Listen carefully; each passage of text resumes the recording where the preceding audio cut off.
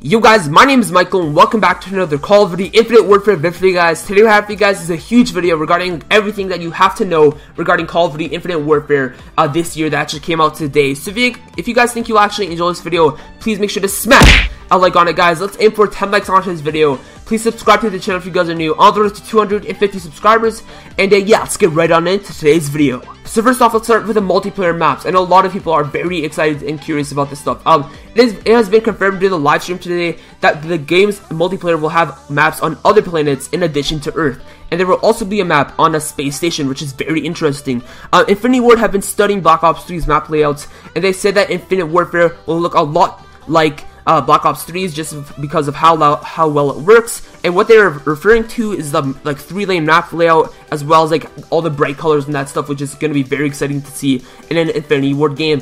Uh, next up, it is also added that there will be a wide variety of new lethal and tactical grenades in the game. So I, am very excited to see what they actually do here. Uh, if, it, if, they'll be that creative like they have been in uh, Advanced Warfare, with what Sledgehammer have been doing in Advanced Warfare with the see-through walls grenade stuff like that. I don't know what they will do here, but uh, I'm very curious to see what will happen.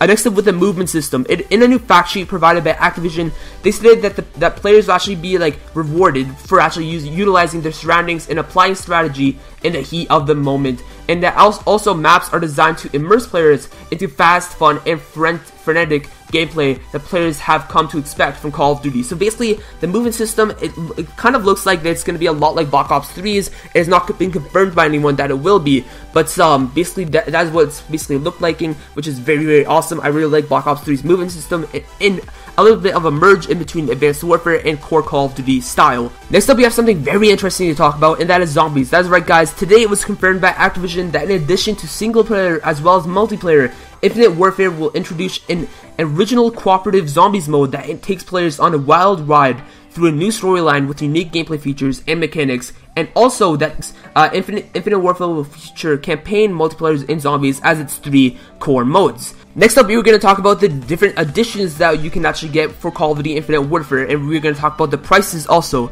So first off, for the Legacy Edition and Digital Legacy Edition, they include both Call of Duty Infinite Warfare and Modern Warfare Remastered for $79.99 US dollars. And next up, we have the Di Digital Deluxe Edition, which includes Call of Duty Infinite Warfare, Call of Duty Modern Warfare Remastered, as well as the Season Pass uh, for 99.99 US dollars. And uh, last but not least, we have Legacy Pro Edition, which includes Call of Duty Infinite Warfare, Call of Duty Modern Warfare Remastered, the Season Pass, collectible steelbook, as well as the official game soundtrack and additional digital items for $119.99 uh, for US dollars. And as you can see on screen, those are all the different kind of uh, additions. It shows on screen what kind of, like, on the pictures, what kind of little things you will get with them, like I just described. And uh, those are some really cool additions. I wonder if we'll actually get some other things to come in the future. Uh, I'm not sure, but uh, it will be cool to find out.